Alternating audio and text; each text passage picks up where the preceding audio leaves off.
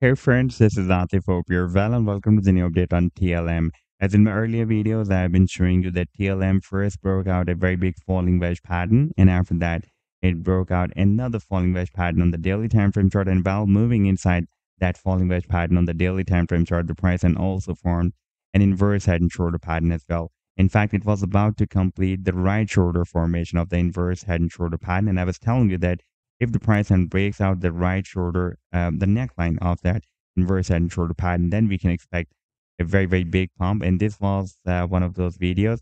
And now if we take a look at the live chart, then you can see that it is still moving inside this uh, falling wedge pattern. And by the way, this was the formation of this inverse head and shoulder pattern. This was the left shoulder in the head, and this was the expected right shoulder. But the price could not complete the right shoulder, and without the completion of this right shoulder, the price and moved on and by the way, this was the neckline, and you can see that the price did not move up to uh, form this right shoulder.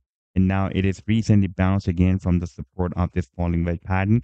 And in today's video, we will once again analyze this move. But before starting this analysis, if you are not subscribed to my channel, then do subscribe it. And for more trading signals, you can also join me and support me as a YouTube member or as a Patreon member because there I'm sharing different trading signals for you and you can find the link to join me there in the video's description I've shared. And if you would like to see how my trading signals work, then I've also shared the link for the trading signal report for the previous month of July 2024 in the video's description. You just need to open that report. And if you would like to check or verify any trading signal like the, the trade setup or hook protocol, you just need to click on the link for the trade setup and it will take you to the trading views chart. And on this chart, you can see when I shared this signal, like this trade setup I shared on 21st of July 2024 and you can also watch the complete trade setup as well like this was the buying zone and the sell target zone and the stop loss. And in order to see how the price line moved after sharing this signal you need to click this button and after that it will show you how the price line moved from the buying zone and rallied to the sell target zone this was a very very massive pump by the way. Now let me to take you to the live chart of TLM and here you can see that for the past several days the price line is moving inside this uh, falling wedge pattern.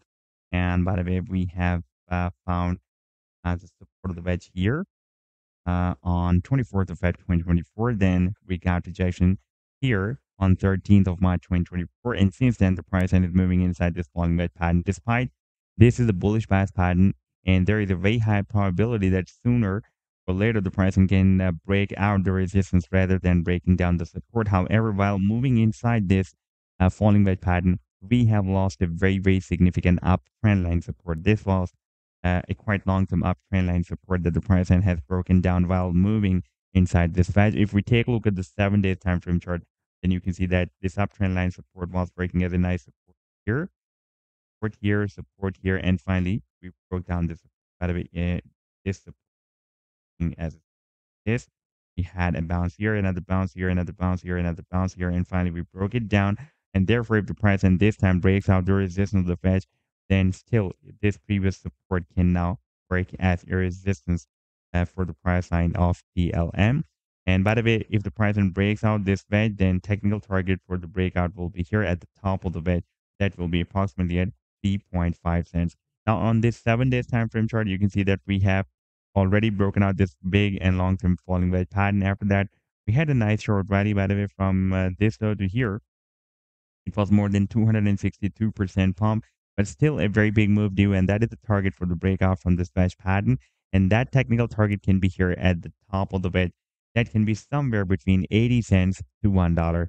So this was the update so far. I hope that you've liked the analysis. Then do hit the like and do subscribe to the channel as well. And for more trading signals, you can also join me and support me as a YouTube member or as a Patreon member because there I'm sharing different trading signals for you and you can find the link to join me there in the video's description I've shared. Take care. Goodbye.